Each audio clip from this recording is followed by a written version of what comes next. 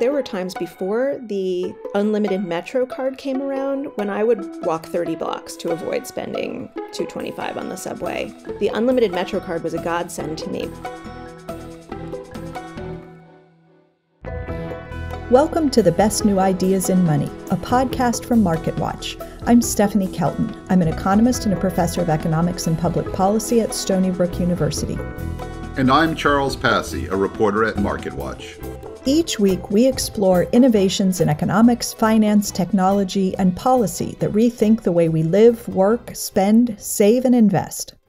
Everyone loves a bargain. There's something satisfying about getting a good deal, especially if you've worked at landing it. This week, we're talking about a whole culture that surrounds frugality, or cheapism, as I and some others like to call it. So, what should we make of this boom in budget living? And how is a new crop of apps bringing it back in style? You said cheapism. It's also been called spendthriftism. There's a lot of different names that, that come up, but they're all getting at kind of the same thing. And we want to dig deeper and say, well, maybe they're different sort of driving forces for frugality. Ronald Goldsmith is a retired professor of marketing at Florida State University and a consumer psychologist. His research investigates what impulses lead people to be thrifty. There's a concept called consumer independence, which means to what extent are you independent of the opinions of others? How, how important are other people to you in your self concept and the way you live? Self control is a characteristic that's been looked at, that frugal people have more self control than non frugal people. We've kind of cycled through many different periods in our history where thrift was valorized Lauren Weber is a reporter at the Wall Street Journal. She's also the author of In Cheap We Trust, the story of a misunderstood American virtue. It's a cultural history of penny pinching in America.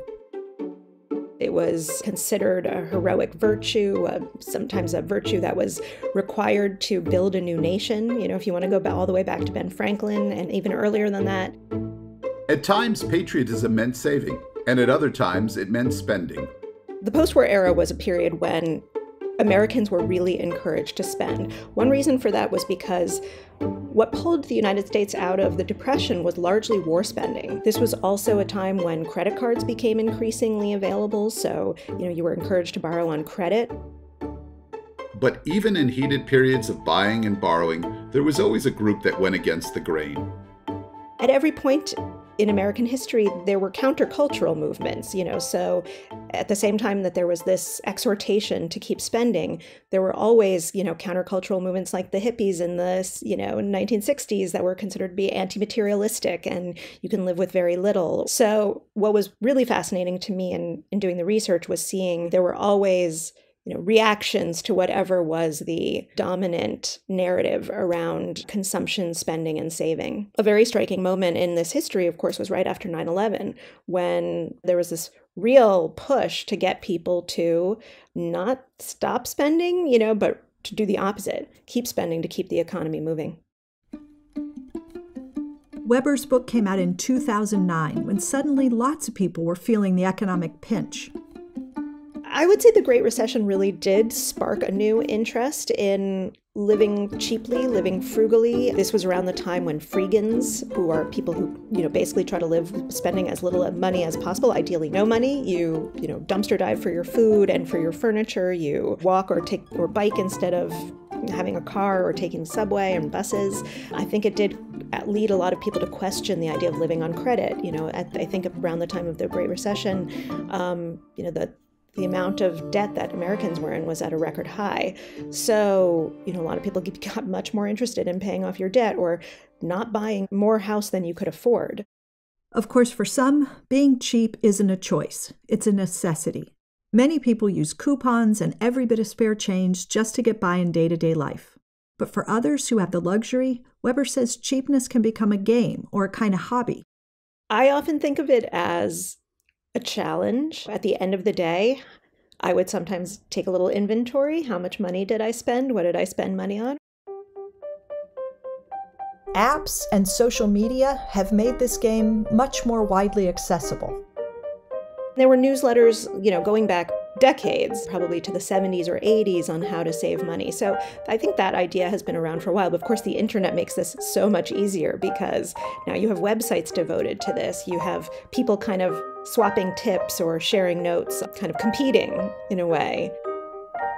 The way Ronald Goldsmith sees it, there's a new generation adopting these cheapist behaviors. It's been around for a long time, but was facing these tremendous social forces, you know, pushing the materialistic culture, and it wasn't cool to do it. It's, it's just like a change in mindset. If they're exposed to more examples, which I think they are, that will have a tendency to encourage people to try these new things, and, and some will adopt them. The culture has a huge pervasive influence on people's behavior. As the, let's call it the more frugal culture began to get more publicity and more exposure, particularly with uh, younger people, and then kind of a general disillusionment with, with marketing because people have become very cynical about marketing. It's made a little resurgence. Goldsmith says that influence can easily come from the messages your family sends you as a child. It's a combination of nature and nurture.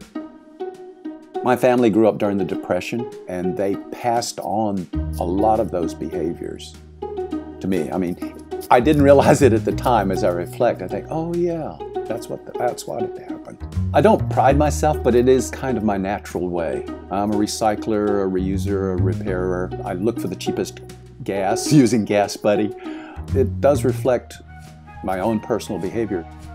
For Lauren Weber, starting her own family undid some of her thrifty habits. For myself, I mean, honestly, I would say I have really moderated over time, partly because I have a kid, and you, once you have a kid, you're often doing things just for convenience. Before I had a child, I you know, I would just go out of my way. It didn't matter how long I had to walk to avoid taking the subway, or, you know, if I had to go without food for a while because I wanted to wait till I got home and ate the leftovers in my kitchen. When you have a kid, you know when they're hungry or like really thirsty. It just makes more sense to like buy a bottle of water at the corner deli, as much as it kills me.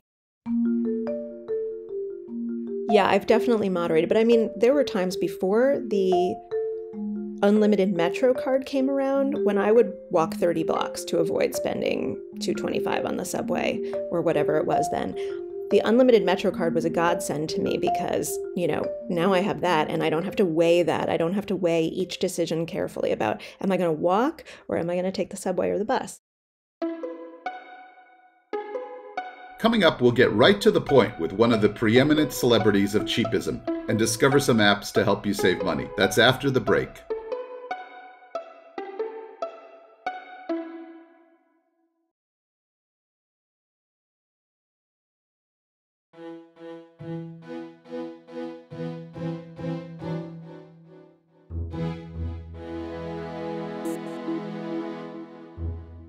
Welcome back to the best new ideas in money. Before the break, we talked about how American culture has swung from lean to lavish through our history, and how Gen Z's pendulum seems to be swinging back toward the cheap side. Our next guest is an expert in making your money work for you. One day I decided to kind of start a blog to share my thoughts on points because at the time I wasn't making a lot of money being in HR, but I was able to travel all around the world in first class.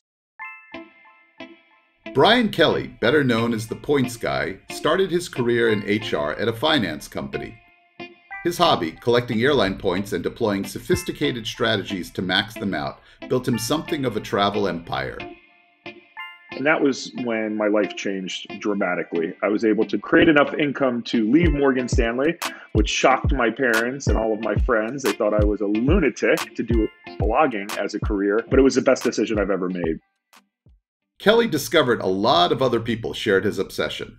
I discovered this online community called Flyer Talk of really smart people all around the world who were sharing incredibly useful information on how to get the most out of loyalty programs. And I immediately fell into that community. And, you know, six years later, I ended up basically translating that community via a blog. He's noticed that younger people seem interested in following in his footsteps. We're seeing an even another generational shift with the pandemic where people are feeling emboldened as ever to you know break away from the notion that you need to work in corporate America your whole life. I think that trend is going to continue, especially with, you know, Gen Z who's grown up on the internet, who's grown up trusting other people's advice and sharing and really wanting to not live the same life as even millennials or, you know, their parents, Gen Xers. So it's a really interesting shift, but I think it's a good shift because consumers are as savvy as ever and you can win massively, you know, especially in loyalty and credit cards. That's my expertise, but in so many other ways, having more boldness to to make big life decisions. According to Kelly, you don't have to invest a lot of time or energy to benefit from his credit card point strategies. He says keep applying for new cards and charge the minimum amount to get the maximum sign up points. Then use them for travel and upgrades. You don't have to go to extremes to extract huge value. You know, simply getting a single credit card can get you a business class ticket to Europe, for example. Kelly explains that as long as you pay your credit card bill in full and on time, his points game can not only get you free trips, it might even improve your credit score. The more credit you have available and the longer you have it, the higher your credit rating. So not only do you rake in amazing points that save you thousands of dollars on trips, but you actually get lower interest on your mortgage down the line because your FICO score is higher. So this game is a game that can be won on multiple levels. And that's why so many Americans are obsessed with it because it's a hobby that also makes your financial life better. Whereas in other hobbies, you spend money in it, you know, you might get into debt. But if you play the points game right, you become more financially secure and are able to travel way outside of the means that someone would normally be able to afford. So I personally have 25 different credit cards and my credit score is near perfect. I don't recommend everyone right now going out and getting 25 cards. I've, I've done this over the last 15 to 20 years, and you take a measured approach. You never want to bite off more than you can chew. Speaking of chewing, I recently came across a new money saving app that helped inspire this episode. Too Good To Go finds gourmet leftovers for a fraction of the price you'd normally pay. That might sound strange at first, but here's how it works. Food businesses operate knowing that they're going to serve the last customer just as well as the first customer of the day. And in order to do that, they need to have a little bit of surplus left over. Claire Oliverson is Too Good To Go's U.S. head of marketing. So when you get a surprise bag, you should expect to get, you know, either a full meal, a bunch of ingredients. So think about your local pizza shop. If they make 50 pies per day, you know, sometimes they sell 42, sometimes they sell 48, but they're always going to have a little bit of buffer. Too Good To Go says their model benefits its customers, vendors, and the environment.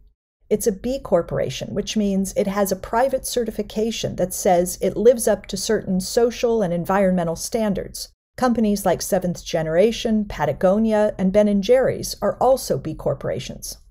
We're really thinking about how can we create a win-win-win for everyone. It's, you know, a win for the consumers, you get great food for a third of the price, and we make sure that it's a win for these businesses as well. Too Good To Go takes a flat fee and they get uh, the remaining revenue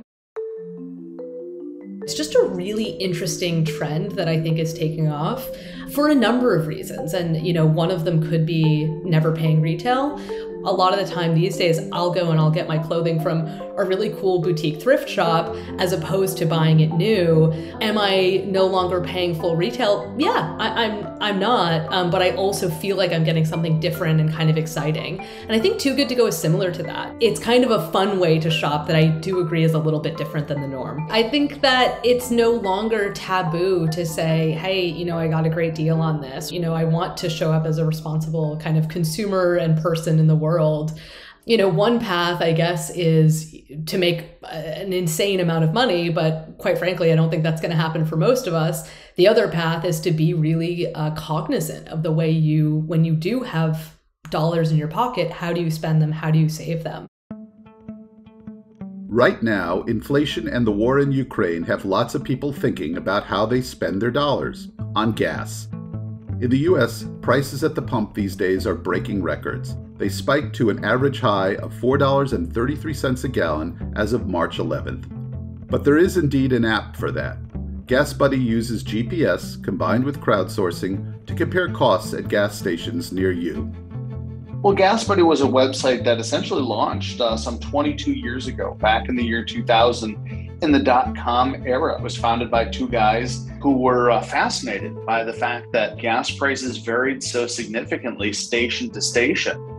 Patrick DeHaan is head of petroleum analysis at GasBuddy. They started a website, gasbuddy.com, that has grown into a service that tracks gas prices at 150,000 gas stations across the US and Canada to help motorists find those lower prices. It has evolved into a, a, a platform. It was essentially one of the first crowdsourced websites before all the social networking came along. This was truly built uh, from volunteers. The ease of online searching has gotten all of us used to comparison shopping. It's very much a mindset, but I think it's one that is empowering instead of crippling. That is, motors can look at our app and they can decide, okay, it's not convenient for me. I don't want to go out of my way. But knowledge is power. But how much energy should we be putting into our thrifty ways? That's something Wall Street Journal reporter Lauren Weber says she began to question. At a certain point, could there be costs that come with being cheap? There is definitely a price we pay to be frugal. It takes a lot of strategizing, takes a lot of energy. It takes a lot of, you know, advanced thinking sometimes. You know, I can't tell you how much time I sometimes spend thinking, should I buy myself a sandwich or should I just wait until I get home and eat what's in my refrigerator? And I, I I'm sure I spend like far more mental energy on that question that could be, you know, much better used in other ways. Not to mention when you're, you know, with your friends and you're out for dinner and you know like you don't want to be the person who's like nickel and diming on the bill. I, I don't want to be that person even though i'm extremely frugal with myself but i really work hard not to to be that way with other people and impose it on other people. So yeah there's a lot of trade-offs and as i get older i see that some of them are really not worth it. I've definitely relaxed. I'm not proud of it, but I will say by being so cheap earlier in my life, I, I started out, I have a nice nest egg for my retirement. So, Charles, it makes a lot of sense to me that, you know, a lot of people don't get to be cheap by choice, right? Like their economic circumstances basically mean they have to hunt for bargains and try to pinch pennies everywhere they can. But some people don't have to do that, and they're just cheap by choice. And that could drive people kind of crazy. I could imagine some pretty significant costs being associated with you know, spending countless hours looking for every possible way to save money. Stephanie, you must be talking about the discussions in my household, I think. So, so, yeah, I mean, look, I am an inveterate cheapskate and and it can take a lot of time and a lot of effort and some might argue a lot of wasted time and effort. Um, in fact, my wife has argued that. So one of the running arguments in our in our household, but it kind of has reached a fever pitch in recent months, is that I'm one of those people who employs various strategies to maximize points with my credit cards that I use. So I have one card I use, a base card for everyday uh, rewards, which is 2% back. I have a, a, different card I use for restaurants, which gives me 3% back. I have a different card I use specifically for fast food restaurants, which gives me 5% back. I have cards for gas. I have cards for travel. And yes, when I see my wife, when I we get the credit card bill at the end of the month, and I notice that, you know, she used the restaurant card for a fast food purchase and not the fast food card, uh, this leads to all sorts of interesting conversations. So, Stephanie, I've been also thinking about the fact what happens if we have an entire society filled with people like me? I mean, if everybody goes cheap, what happens to our economy? Well, you know, the economy actually runs on sales. So if you think about what our GDP is, it's just the total dollar value of everything that's produced and sold every single year. So if a lot of us were running around trying to spend less and save more, pinching pennies actually robs the economy of demand. So every dollar that we save and don't spend back into the economy is a dollar that some business can't capture as part of its revenue and ultimately part of its profits. So when we close up our wallets and get very frugal, businesses are losing customers and they have less incentive to hold on to workers and expand production. So it can actually drag the economy down. The spend save trends in American life tend to cycle in parallel with whatever is going on in our economy. But maybe global changes and changes in values might mean the new generation of cheapists out there isn't just chasing the latest shiny penny.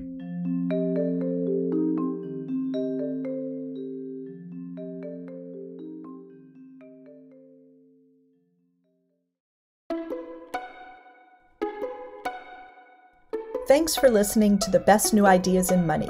You can subscribe to the show on Apple, Spotify, or wherever you listen to podcasts. If you like the show, please leave us a review. As you probably know, it's the best way for other listeners to discover us. If you have ideas for future episodes or a question you'd like us to answer, drop us a line or send us a voicemail at bestnewideasinmoney at marketwatch.com. Thanks to Ronald Goldsmith, Lauren Weber, Brian Kelly, Claire Oliverson, and Patrick DeHaan. To learn more about cheapism, head to marketwatch.com. I'm Stephanie Kelton. And I'm Charles Passy. The Best New Ideas in Money is a podcast from MarketWatch, produced by Best Case Studios. Suzanne Myers is our producer. Our associate producer is Hannah Leibowitz Lockard. The executive producer for Best Case Studios is Adam Pincus. For MarketWatch, Melissa Haggerty is the executive producer, and the associate producer is Katie Ferguson. Jeremy Binks is our news editor. This episode was mixed by Katie Ferguson. The Best New Ideas in Money theme was composed by Sam Retzer. Stephanie Kelton is an economist and professor of economics and public policy at Stony Brook University and not part of the MarketWatch newsroom. We'll be back next week with another new idea.